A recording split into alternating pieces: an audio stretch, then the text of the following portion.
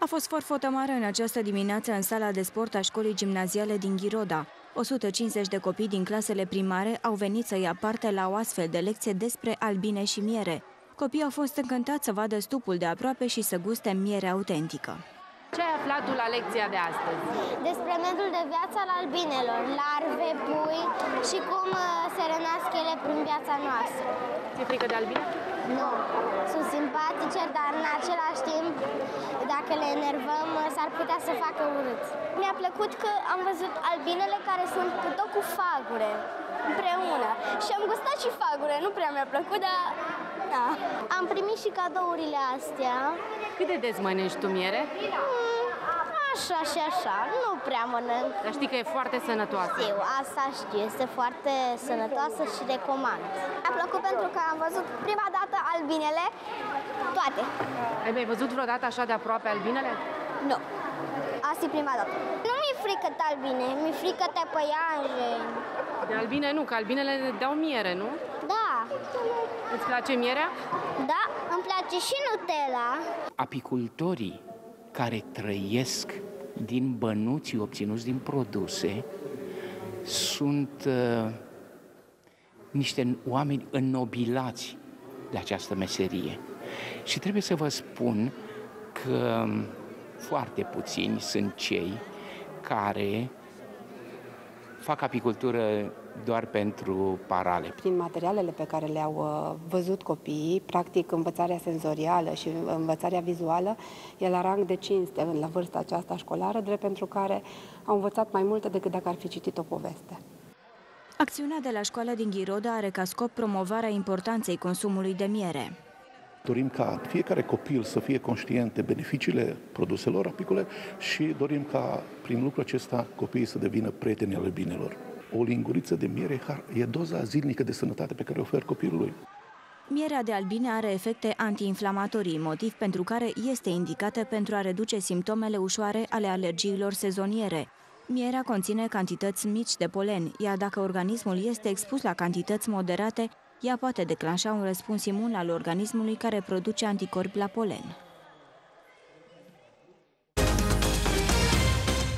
Îl am alături de mine în platou pe domnul Petre Doda, apicultor și președintele Asociației Apicultorilor din Timiș. Bună ziua, bine ați venit! Bine v-am găsit! Bună Domnule ziua. Doda, în primul rând vreau să vă întreb de cât timp aveți afacerea aceasta în domeniul uh, apiculturii? În domeniul apiculturii activez cam de vreo 12 ani. Nu este activitatea principală, este o altă activitate, e cea secundară, o facem cu pasiune. Uh, în copilărie am avut stupi în familie, tata s-a ocupat de stupii respectivi, uh, nouă nu ne-a plăcut decât uh, mierea, că era dulce și era plăcută, albinele au fost uh, puțin, cum îi zice, puțin agresive nu în vremea respectivă, pentru că noi n-am avut timp de ele, nici nu am avut grijă de ele și uh, nici n-am știut prea multe informații care să ne prevină să nu fim înțepați sau ceva de genul ăsta. Dar dincolo de pasiune și faptul că înțeleg că ați moștenit cumva afacerea, uh, cum merge? Ce înseamnă afacerea aceasta de apicultor în România? Cât de ușoară sau de dificilă e? Uh, dacă ne uităm la contextul actual, nu este o afacere care să fie uh, prea ușoară sau simplă.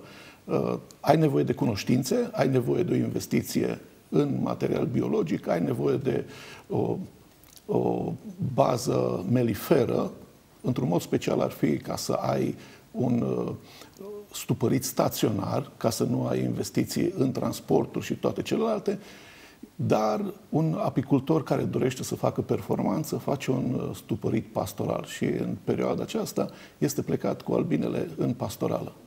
Ce înseamnă ca investiție, dacă e să vorbim în bani, dacă ar fi să începeți acum afacerea, sau cine va vrea să deschidă acum afacerea? Acum, dacă ne vom gândi la valoarea unei familii de albine, cam uh, prețul ar fi undeva la uh, 100 de euro, 5.000 de lei, uh, 500 de lei pe familie, fără inventarul apicol, fără lăs, fără rame și tot ceea ce mai este înăuntru, uh, s-ar ridica undeva cu tot, cu ceea ce ai nevoie, uh, undeva la 1000 de lei pe stup ar fi o investiție care ar fi... Iar ca afacerea să da. fie totuși numită afacere, nu. ar trebui cam cât? uh, recomand de obicei apicultorilor care sunt începători să înceapă cel puțin cu 5 stupi.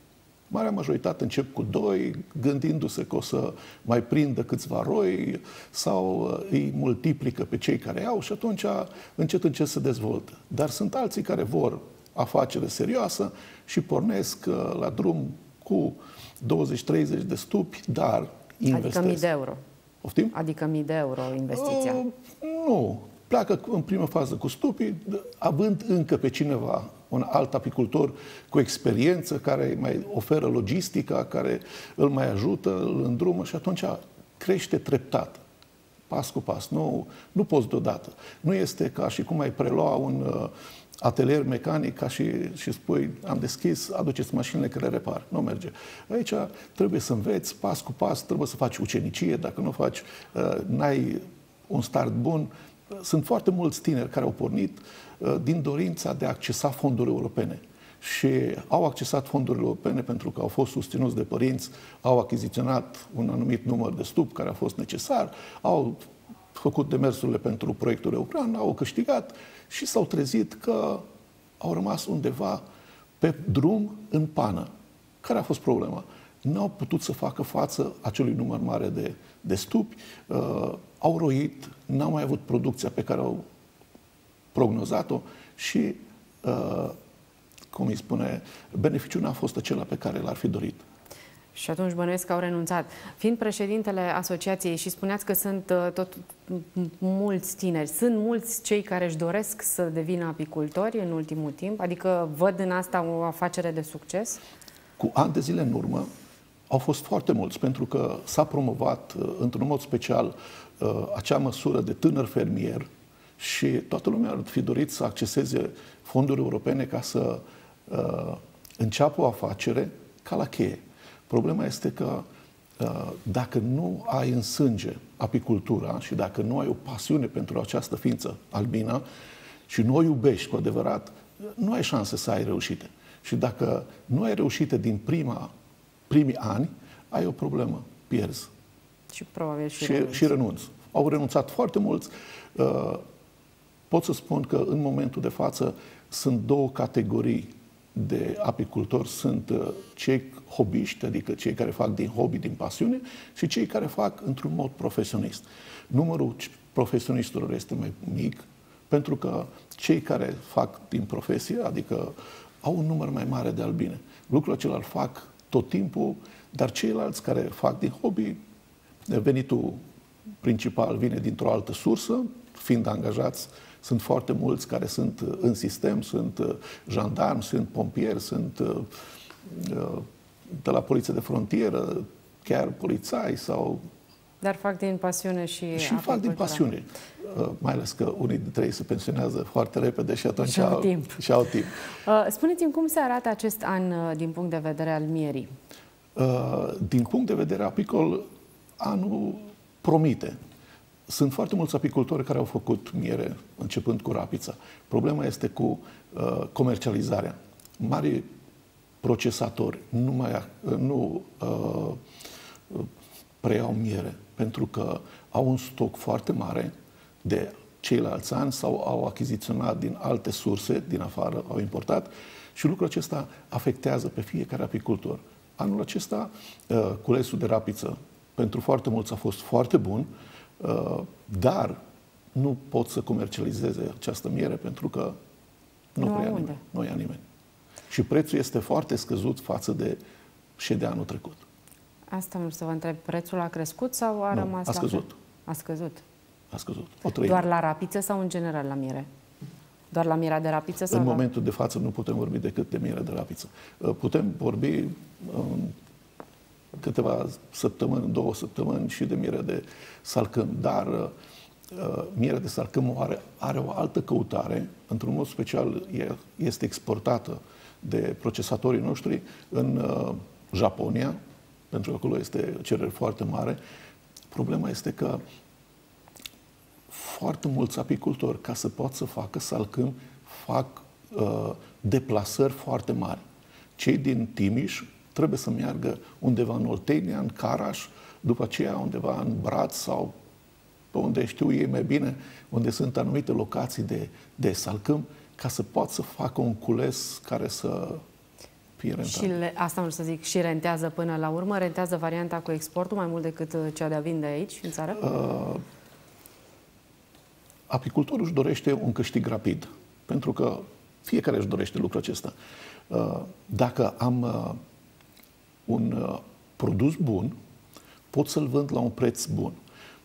Anii trecuți s-a, s-a achiziționat miere de salcâm la categoria bio, undeva la 35 de lei, cam așa ceva.